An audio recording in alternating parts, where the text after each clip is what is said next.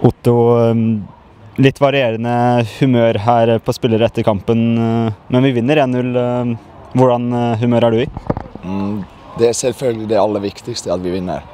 Det er utrolig, utrolig godt å vinne på en sånn dag. Prestasjonen uh, i seg selv kan vi, kan vi være misfornøyd med. Det var mye, mye, som vi kan bedre og bør gjøre bedre. Men uh, det har ingenting å si uh, når vi tar tre poeng. Det er det som vi får med.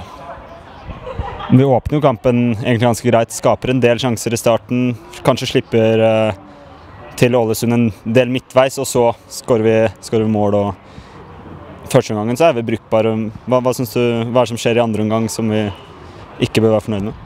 Ja, Det er tendenser i første omgang allerede. at Vi, vi, vi henger ikke sammen som, som, et lag. og Det som og ofte har kjennetegna også at vi, at vi, klarer å presse, presse, motstanderen og jobbe virkelig, virkelig sånn kollektivt eh, tett. Men var, nå var det store rom, eh, store rom og forsvarsspillerne måtte løpe, løpe og dekke masse, masse, masse rom bak. Så det, det, var ikke bra, men eh, selvfølgelig utrolig viktig skåring av Tommy, som, som ga oss muligheten å, å, å satse på å forsvare oss. Men uh, jeg, jeg syns vi var passive, og, og vi fikk det ikke, ikke, til å Samhandling. Defensiv samhandling funket ikke i dag.